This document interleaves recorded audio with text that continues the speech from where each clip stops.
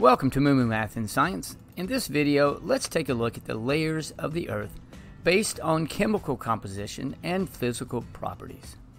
The Earth can be divided into three layers based on chemical composition the crust, the mantle, and the core.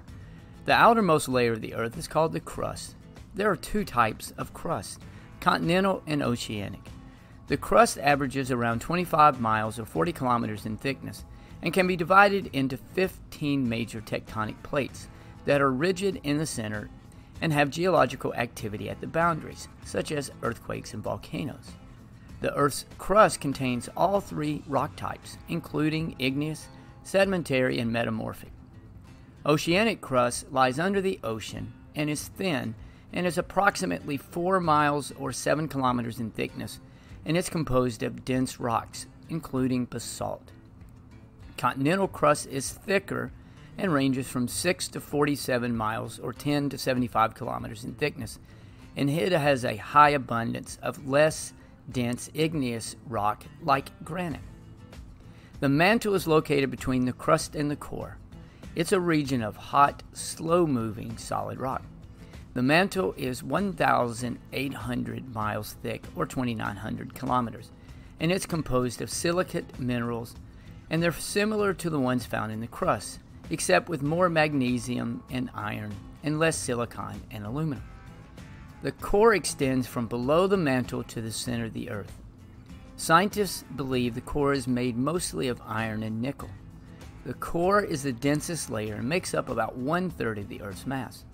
The outer core is composed mostly of iron and nickel, with metals found in liquid form. The outer core reaches temperatures of 7200 to 9000 degrees Fahrenheit, and it's estimated to be about 1400 miles thick or 2300 kilometers. The inner core is the hottest part of our planet and has temperatures between 9000 and 13,000 degrees Fahrenheit. It's a solid layer and it's around 755 miles or 1,200 kilometers thick, and it's composed mostly of iron. This iron is under so much pressure that it stays as a solid.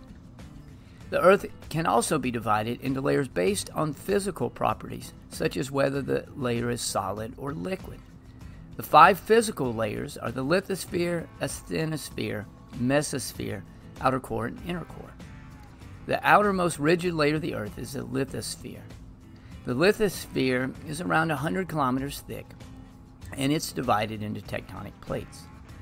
The Earth's lithosphere includes the crust in the upper part of the mantle, and it is hard and rigid outer layer of the Earth. The asthenosphere lies underneath, and it's made of solid rock that moves very slowly. It's described as viscoelastic, which means it can flow and also can be elastic. The asthenosphere is located below the lithosphere, and the tectonic plates move on top of the asthenosphere. The strong lower part of the mantle is called the mesosphere. Rock in the mesosphere flows more slowly than rock in the asthenosphere. The outer core is the liquid layer of the Earth's core, and the inner core is the solid part. The inner core extends from the bottom of the outer core to the center of the Earth. Thanks for watching, and Moo Math uploads a new math and science video every day. Please subscribe and share.